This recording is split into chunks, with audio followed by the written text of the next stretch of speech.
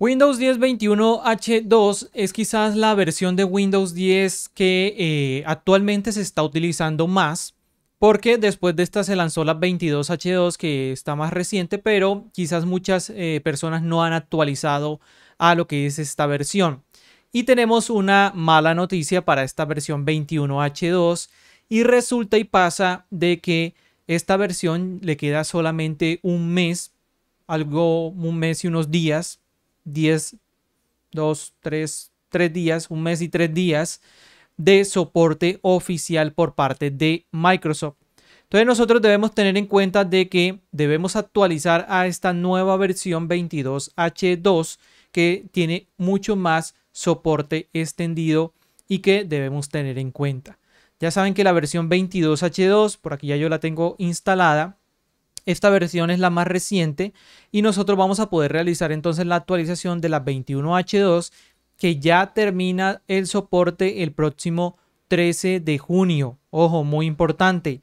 13 de junio termina lo que viene siendo el soporte para la versión 21H2. Eh, Entonces hay que tener en cuenta, yo tengo aquí instalada la versión 22H2 y hay que tener en cuenta de que cuando se termina el soporte ya no van a haber actualizaciones de seguridad y demás, a menos que sea una actualización muy importante para esta nueva versión.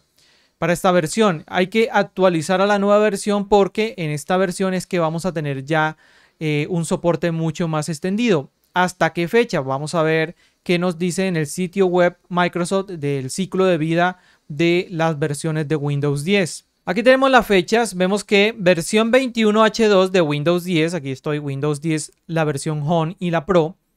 Tenemos que la versión 21H2, que es la que tenemos por aquí, tenía un inicio, eh, comenzó en noviembre 16 de 2021 y la fecha de finalización de su soporte va a ser en junio 13 de 2023, o sea que queda un mes larguito de unos días para poder nosotros actualizar esta nueva versión 22H2. ¿Por qué? Porque la versión 22H2 va hasta el 14 de mayo de 2024. Entonces vamos a tener ya un año, más de un año de soporte en esta última versión 22H2. Los cambios en la versión 22H2 pues no fueron mucho, alguna o que otra actualización allí para corregir algo, pero no fueron muchos, así que el mismo rendimiento que tienen actualmente en la versión 21H2, pues sería el mismo rendimiento que van a tener en la versión 22H2. Ya saben que Microsoft ya a Windows 10 no le está añadiendo ninguna características nuevas. Sigue obviamente con todo el proceso de actualizaciones de seguridad, todo el tema de corrección de problemas y demás, pero ya no se le están añadiendo características nuevas porque ya todas estas características están 100% enfocadas en Windows 11. Entonces hay que tener en cuenta que si ustedes actualmente tienen la versión 21H2, deben actualizar a la versión 22H2. Háganlo inmediatamente, vayan a su eh, Windows Update y descarguen esta nueva versión 22H2 que ya desde hace mucho tiempo, desde hace muchos meses, debe estar apareciéndoles allí en su actualizaciones de Windows. Entonces hay que actualizar muchachos, hay que actualizar para tenerlo allí. De pronto esta versión 21H2 es la versión más eh, utilizada por el momento. Eh, tanto en las empresas como también en equipos de hogar. Entonces hay que tener en cuenta que se debe actualizar rápidamente porque pierde soporte ya el próximo 13 de junio. Sería ya con las últimas actualizaciones de, de Windows eh, que se lanzarían el segundo martes del mes de junio. Entonces ya quizás con estas serían las últimas que llegarían y ya debemos actualizar directamente a la última versión que es la 22H2 que va hasta mayo de 2024 con su soporte extendido.